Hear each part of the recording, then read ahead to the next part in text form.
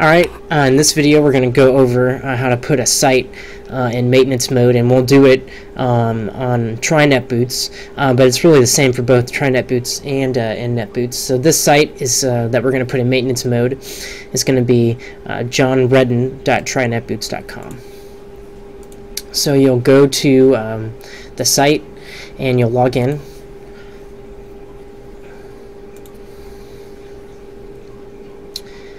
and uh, then you'll go to uh, site configuration, site maintenance.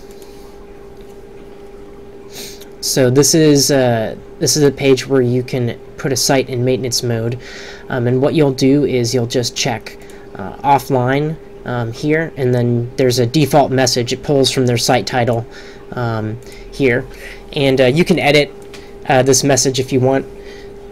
Um, normally, if it's a, if it's a, if it's a site that we're taking down, um, like like this one, we're eventually going to take it down.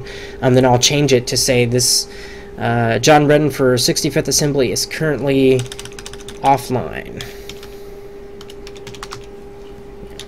If you want, um, if this was like a larger campaign or something, you could also put um, a message in here about, um, you know, if you need to contact someone affiliated with the with the campaign, please email, um, you know, so and so, and and to get who that should be, um, go to user management, users list, and um, you can just use um, this person's email address, or you could also grab it uh, from uh, from the contact form. So site building contact form list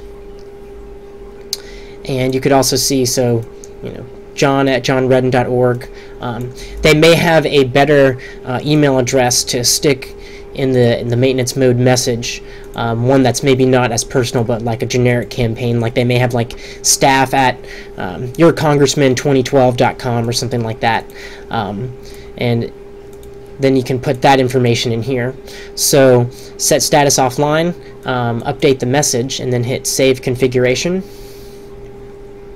Okay, so um, configuration options have been saved. So now you'll notice if you go to any page on the site, you're going to get this message that says operating in offline mode. Um, so what that means is that only uh, logged in user um, can, can see the site. So let's log out. You can see that, um, so whenever someone comes to the site, this is what they'll see. So site offline, uh, John Redden for 65th Assembly is currently offline um, and then it has their their uh, site title and their footer message.